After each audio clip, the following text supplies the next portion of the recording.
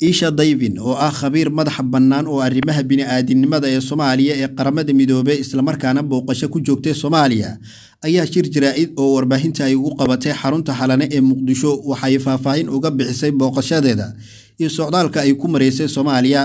Waxa ay sheegtay in ay la kulantay madaxda ugu sareysa dowladda Soomaaliya iyadoo ka xog wareysatay xaaladaha bini'aadantinimo ee ka jira Soomaaliya waxa ay hoosta ka xariiqday in isbeddelka cimilada saameyn ba'an uu ku yeeshay Soomaaliya islamarkaana roobabka guga ee la filanayo uu ka dhalan karo saameyn ballaaran.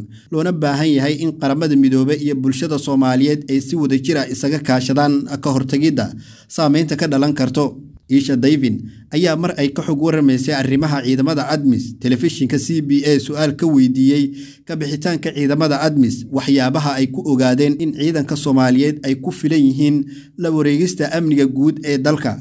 Isha waxay hoosta ka xariiqday in dhowaan uu shir ka dhici doono Itoobiya kaas oo lagu soo bandhigi doono waxyaabaha keenay in ciidamada ADMIS ay ka bixi doonaan iyo sidoo kale warbixin sheegaysa in ciidamada dowladda Soomaaliya ay ku filan yihiin xaqiijinta amniga iyo nabadda Soomaaliya. Has raised at the um, at the meeting they held in December, where the the president expressed his vision of the security environment, um, and ATMIS is now doing the drawdown in the different phases as agreed by the AU, the government, and the United Nations. Um, a lot of assessment is being made, and lots of concerns have been raised to me about what a post ATMIS situation will look like. And we are all analyzing how the protection of civilians will be handled.